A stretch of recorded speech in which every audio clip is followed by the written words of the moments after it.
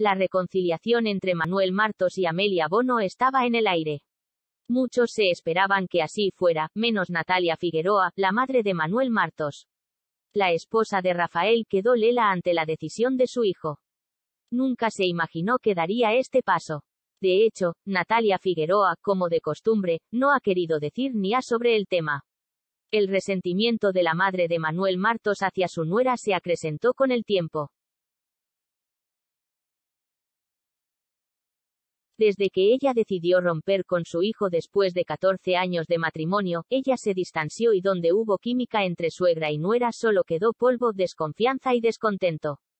Tanto así que la prensa en su última aparición pública junto a Rafael, durante el homenaje que recibió Pedro Piqueras por sus logros profesionales y día en que los tórtolos anunciaron la segunda oportunidad de su romance, ella esquivó a los medios, como tradicionalmente lo ha hecho.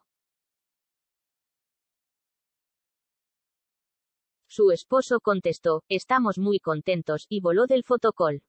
Hace poco más de un año, Manuel Martos y Amelia Bono anunciaron por redes sociales su ruptura. Su relación fue larga, 14 años de feliz matrimonio, que terminó por una nueva relación de la socialité con el empresario Fernando Líguez. Un amor que fue periódico de ayer en menos de lo que canta un gallo. Hoy se dice que Amelia Bono pidió una oportunidad, y Manuel Martos se la concedió. Además, en la pareja siempre prevaleció el respeto. Amelia Bono se dio cuenta de que su expareja la comprende mejor que nadie y, aunque dicen que las segundas oportunidades no terminan de cuajar, a ellos se les ve juntos y disfrutando de este nuevo vuelo. Ojalá gocen y les vaya bien.